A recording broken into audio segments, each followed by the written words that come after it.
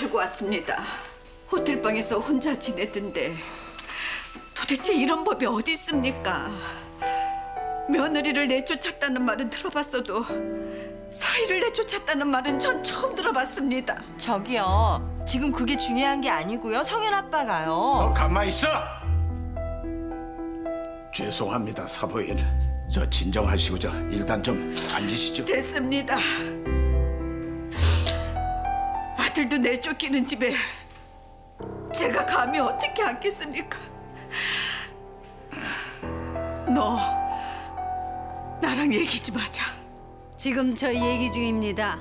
나중에 따로 연락하세요. 어, 당신 뭐 하는 짓이야? 올라가서 말씀드릴게요. 얘기할 거 없어. 아, 사부인 정말 이거 죄송합니다. 다 제 불찰입니다. 한수방, 예. 자네 당장 집으로 들어와.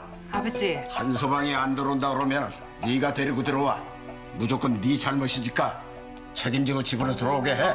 장인어른, 저도 좀 시간을 갖는 게 필요 없어. 두 번 다시 내 집에서 이런 일 없게 해. 무슨 말인지 알지? 저도 생각할 게 있고 저 사람한테도 시간을 좀 주는 게 좋을 것 같습니다. 아 들어와서 해.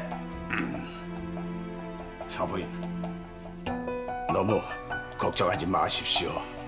이런 일 이제 두번 다시 없게 하겠습니다. 아, 정말 죄송합니다.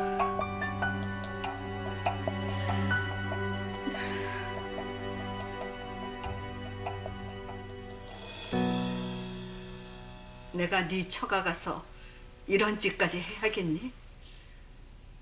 말을 해. 어떡할 건지. 그냥 생각할 게 좀 있어서 잠깐 떨어져 있던 거라고요. 네가 말해봐. 어떻게 이런 일이 있니? 아무리 대단한 집이라도 그렇지 어떻게 남편을 내쫓아? 전 더 이상 드릴 말씀이 없습니다.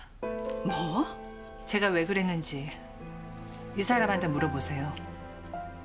저한테 이러지 마시고. 세상에 어떻게? 뭐니? 네가 뭘 어쨌는데?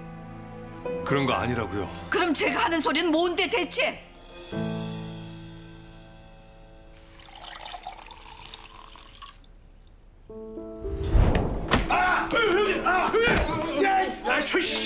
어디 갔어?